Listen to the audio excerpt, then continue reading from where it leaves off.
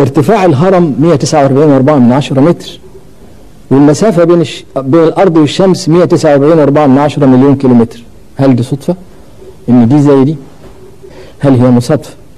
وحدة القياس في الهرم اللي بيقولوا عليها البوصة الهرمية اتضح إنها بتساوي البوصة الإنجليزي تقريبا آه مكان الهرم إن هو في النص بالظبط بالنسبة للقارات الخمس وجوه الهرم اللي هي متجهة إلى الجهات الأساسية شرق وغرب وشمال وجنوب ومش أي شمال ده بالذات الشمال المغناطيسي.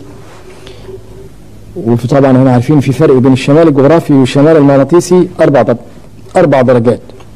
آه فكونها الاتجاه بالظبط كده بالبوصلة شرق غرب شمال جنوب ومش أي شمال ده الشمال المغناطيسي بالذات دي مش بسيطة.